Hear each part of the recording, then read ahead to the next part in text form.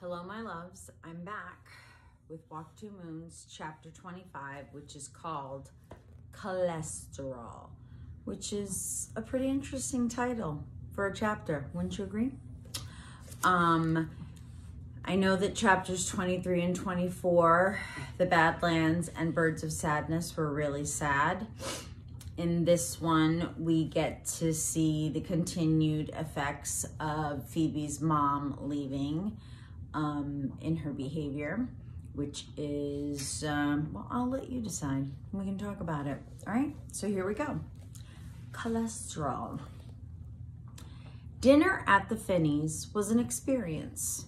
When we arrived, Mary Lou's brothers were running around like crazed animals, jumping over the furniture and tossing footballs. Mary Lou's older sister, Maggie, was talking on the telephone and plucking her eyebrows at the same time. Talented. Mr. Finney was cooking something in the kitchen with the help of four-year-old Tommy. Phoebe whispered, I'm not too optimistic about the possibilities of this meal. When Mrs. Finney straggled in the door at six o'clock, Tommy and Dougie and Dennis tugged at various parts of her, all of them talking at once look at this, and mom, mom, mom, and me first. She made her way into the kitchen, trailing all three of them like a fish, fish hook that has snagged a tangle of old tires and boots and other miscellaneous rubbish. She gave Mr. Finney a sloppy kiss on the lips and he slipped a piece of cucumber into her mouth. Mary Lou and I set the table although I think it was largely a wasted effort.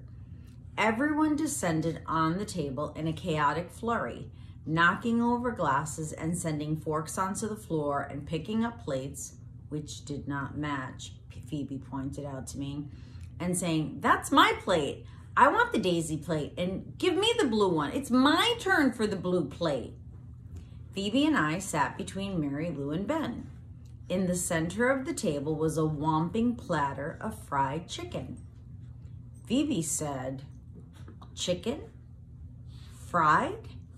I can't eat fried foods. I have a sensitive stomach. She glanced at the three pieces of chicken on Ben's plate. You really shouldn't eat that, Ben. Fried foods aren't good for you. First of all, there's the cholesterol. Phoebe removed two pieces of chicken from Ben's plate and put them back on the serving platter. Mr. Finney coughed. Mrs. Finney said, you're not going to eat the chicken then, Phoebe?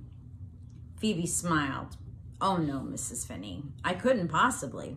Actually, Mr. Finney shouldn't be eating it either.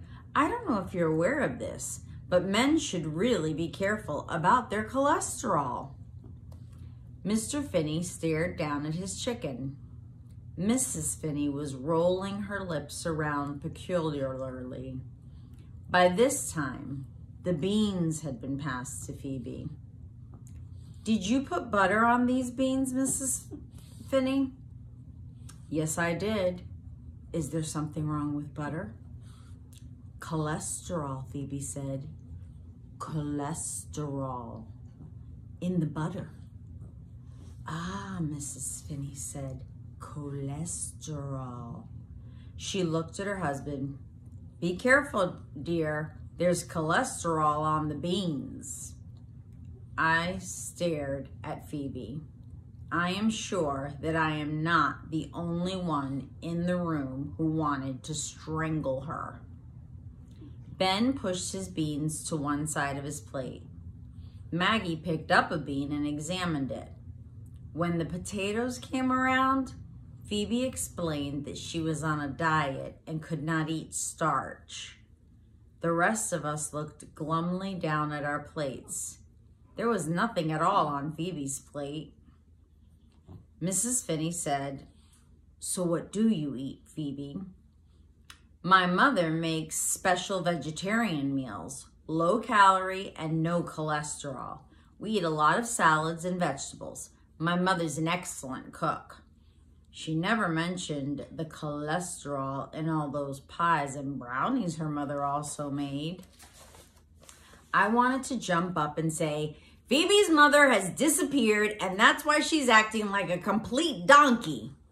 But I didn't. Phoebe repeated, a truly excellent cook she is. Marvelous, Mrs. Finney said. And what do you propose to eat tonight? Well, I don't suppose you have any unadulterated vegetables. Unadulterated, Mrs. Finney said. It means unspoiled, without any butter or stuff added. I know what unadulterated means, Mrs. Finney said. I can eat unadulterated vegetables, or if you have any red bean salad handy, or stuffed cabbage leaves, broccoli and lentil casserole, macaroni and cheese, vegetarian spaghetti. One by one, everyone at the table turned to stare at Phoebe. Mrs. Finney got up from the table and went into the kitchen. We heard her opening and closing cupboards. She returned to the doorway. Muesli? She asked Phoebe. Can you eat muesli? Phoebe said, Oh, yes, I eat muesli for breakfast. Mrs. Finney disappeared again and returned with the bowl of dried up muesli and a bottle of milk. For dinner? Phoebe asked. She gazed down at the bowl. I usually eat it with yogurt on it, not milk, she said. Mrs. Finney turned to Mr. Finney. Dear, did you buy yogurt this week? Blast it, how could I forget the yogurt? Phoebe ate her dried up muesli without the milk. All through dinner, I kept thinking of Bybanks and what it was like when we went to my grandparents' house for dinner. There were always tons of people, relatives and neighbors, and lots of confusion. It was a friendly sort of confusion, and it was like that at the Finneys.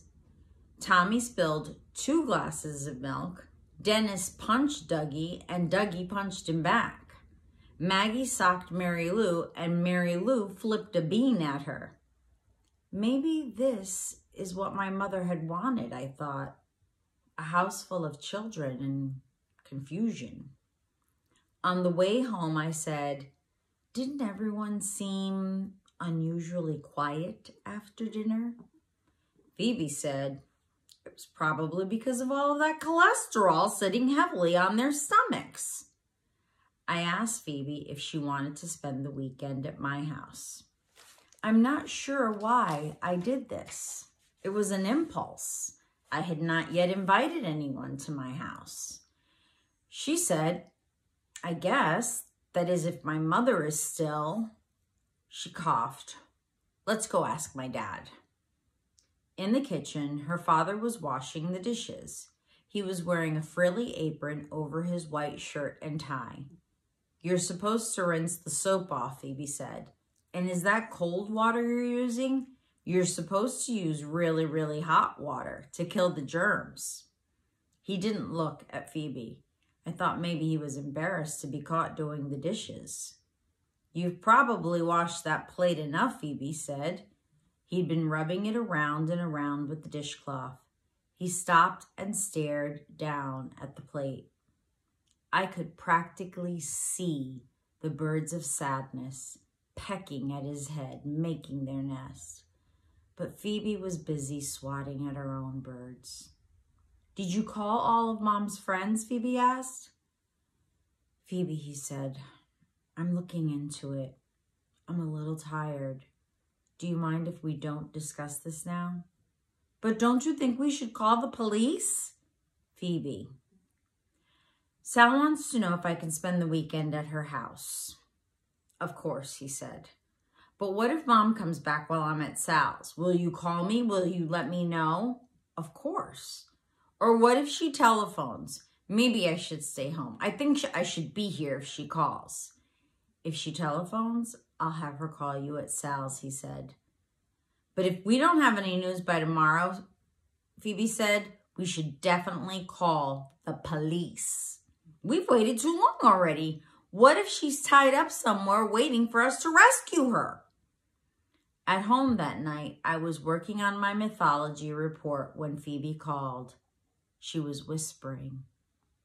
When she went downstairs to say goodnight to her father, he was sitting in his favorite chair staring at the television. But the television wasn't on.